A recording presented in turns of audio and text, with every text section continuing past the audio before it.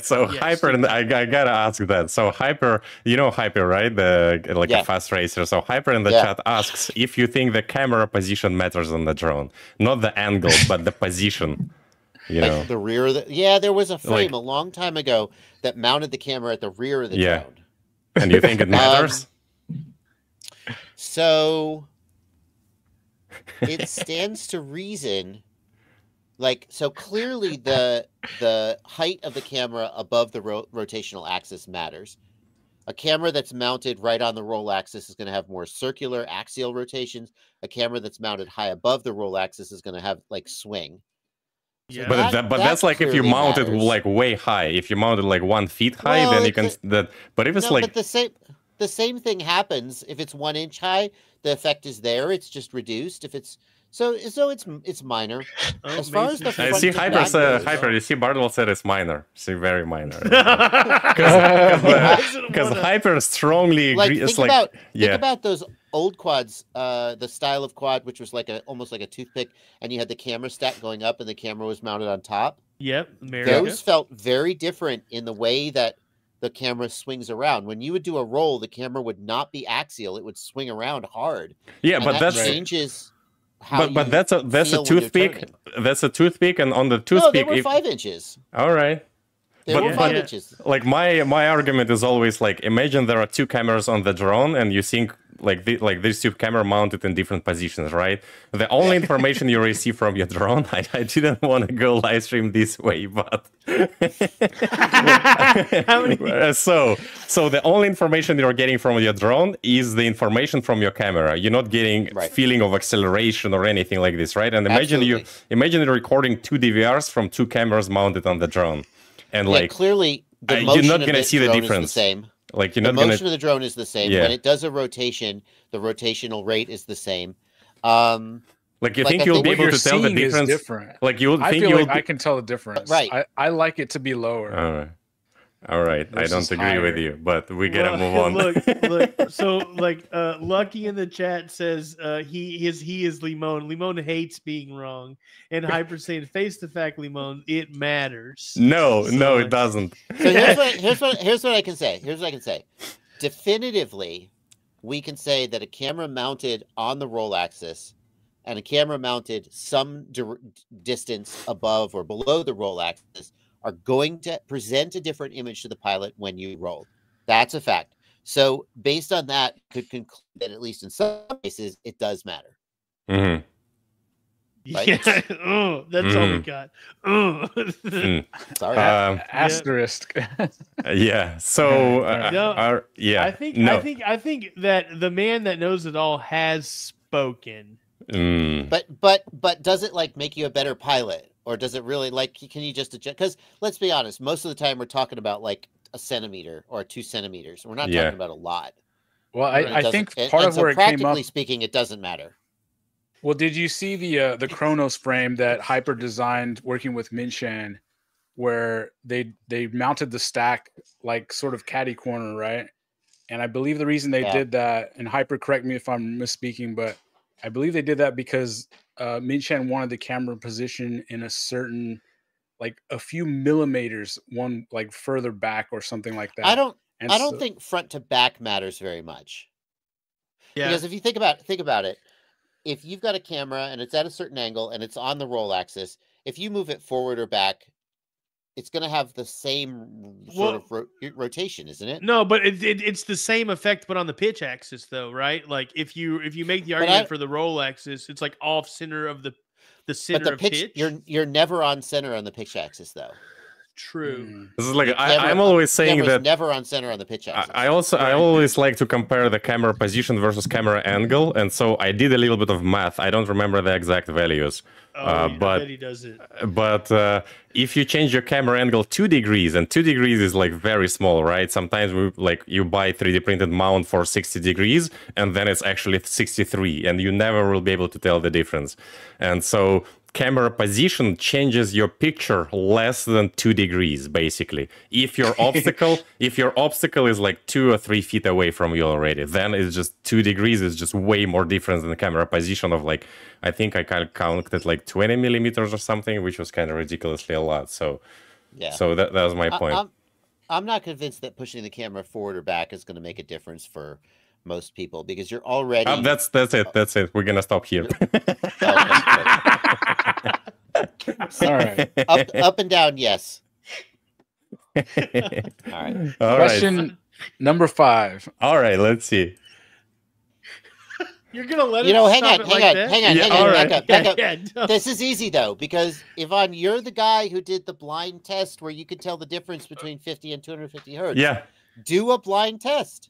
That'd be so hard because you see, you see the props in view in different ways. So we really need simulator for you that, Need a, you need a dead cat with no props in view. or and you need a simulator. three- Yeah, You need a 3D printed mount that pushes the camera forward and back yeah. a few Mm. centimeters. Oh yeah. No one will be able to tell. I think nobody will be able to tell. That's for sure. The same as nobody would be able to tell consistently Well- two degrees camera difference. Like, Yeah, well, Minchan just- can tell. I mean, Minchan but- can. Minchan isn't human. Minchan, if Well, that's true. Minchan says he can tell, I, I don't disbelieve him. So yeah, Hyper said in the human. comments that Minchan had him redesign the camera position four times for the Chronos before it felt right. yeah, because yeah, I think well, hyper is also crazy. Like hyper, that's you're you're Minchan- crazy. Minchan's crazy. Yeah, and they both crazy. Like there's two guys designing a frame. That's kind of crazy. So I I agree one thousand percent with Brian Lewis. We need way more double blind tests in FPV. Here, Yeah. I have a I have a rant. Hold on before we go to the next question. Yeah. I have a rant that that sort of vaguely relates to your question, which is what do people believe that is bullshit, right?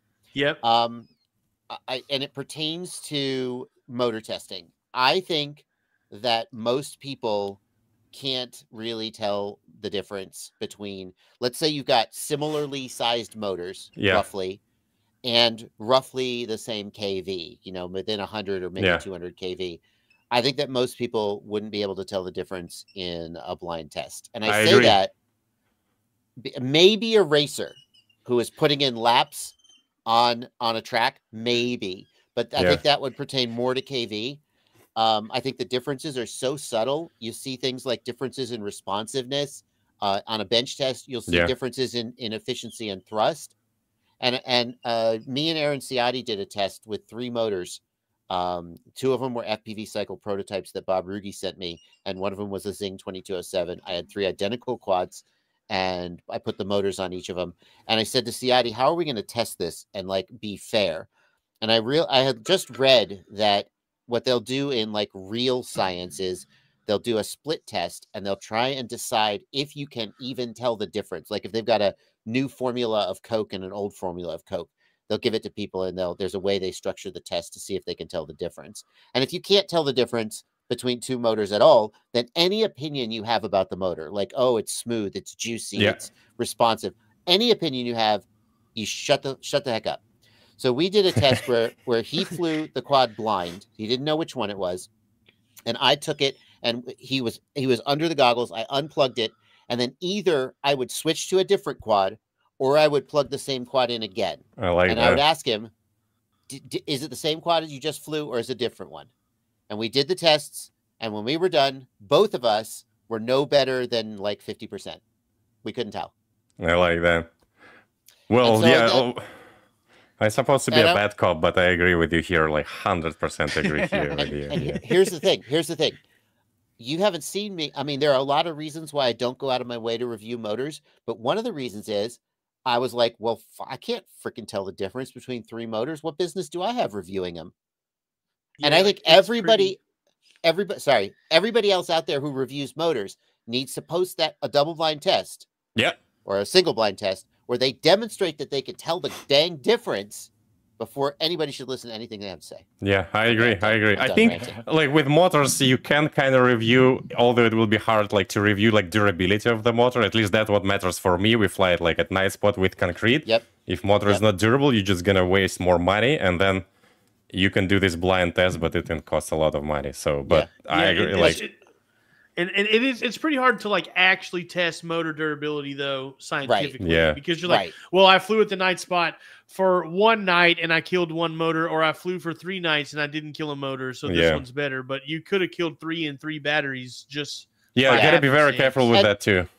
and there's differences in motors like the the construction and so forth the price right all those things are things you can look at and and make opinions about but as far as how they fly i, I think that very very few people if any can actually tell the difference between similarly spec motors Yeah. except on the bench um I agree. Atreides in the chat says i can tell a major difference between emax eco 2 2306 1900 kv and zt innovate 2306 1960 kv v2 prove it everybody Yeah. says that i don't I'm not saying I don't believe you, but prove it. Build Yeah. two identical quads, exactly the same build, exactly the same weight. Put one set of motors on one, one set of motors on the other, and Yeah. blind yourself. Now we also we also uh, played music into his ears so he couldn't hear the motors because because we thought maybe being able to hear the KV Oh. difference would throw you off. Yeah, that's that smart. makes Totally it harder. Yeah. yeah, that's that, that's interesting because you're like, oh yeah, well th- this one just set- was higher pitch, so it's definitely got more power. Or Yeah, I I also say so. Uh, whoever was said that in the chat that he can feel the difference. Like if you know if you know what you're flying right now, it can be so misleading. Your brain can trick you so hard. I remember I was I was testing Betaflight D-Shot 600 versus Betaflight D-Shot 1200, uh, and when I was switching by myself, I could swear I feel the difference. And then when I did a blind test in Betaflight, it was just I couldn't tell the difference. But I swear we- I could tell the difference. Like that's like we were we were like we were like I have the, I have all the footage. I didn't release the video. I didn't release the video. You should, If you I should. release the video, the, everyone would watch the video and go, "Well, Bardwell and Ciotti are clearly stupid."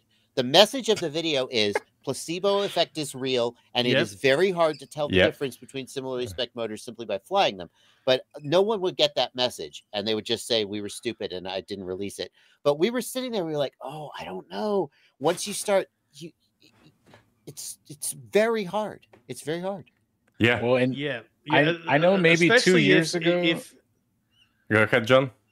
Oh yeah, I was saying maybe two years ago I stopped selecting a motor based on necessarily how it felt or how powerful or fast it was, and I started picking a motor based on how available it was, how durable mm-hmm. over like Yep. long periods of time it was, and whether I could get spare bells or not. Because a spare bell for ten bucks, even on a premium motor like the one I mo- mostly fly is the 533 heads up motor and then that's also plentiful. So if I'm at a race and I run out, there's most likely 15 other guys that have the same one that I can bum Same. one off of in a- an emergency. So yep. Neil, did did you want to say something? Yeah, well, I was just just going back to the testing to say that like it's really hard to tell something apart when you're flying. Uh, but you know, like uh, Mason mentioned, it. You know, I, I think in in JB you mentioned before too, there could be some that you could tell if you're on a track and you're turning the same laps and you're at the top end of the motor, and somebody that really has the ability to get all of the motor maybe could feel that.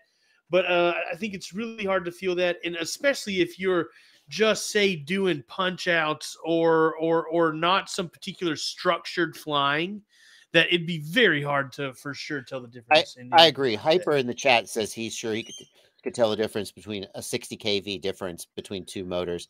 I 100% believe that a top racer, I've seen Alex Vanover put in times on a track and it's like, you know, 12.12 seconds, 12.15 seconds, 12.13 seconds. And I'm like, this guy's so, and, and that's not just Vanover. All the top Right. racers have that level at of that tier yeah once you can reach that level of consistency around a track, I would believe you that you could tell a 60 kV difference in motors. But lots of people review motors and they'll just go out, they'll put it on a quad, they'll whip it around a little bit, and they'll go, Ah, I really like this motor, blah, blah, blah, blah, blah, blah, blah. And I'm like, I don't know why we should believe anything you say. All right. Well, I like I like this. Uh, I like your answer for the question. So this this Yeah. is the part of the opinion that is different from popular opinion. So that this I would is it. love people to do this. yeah. I would love for people to say, "Hey, I'm here to review this motor. Before I give you my opinions on the motor, I want to show you the results of my blind test. I flew these motors around the track, and I I could identify the motor in a blind test. You know, eight times out of out of ten, or Yeah. 27 times out of 30. And then I'm like, okay, I will now listen to what you have to say because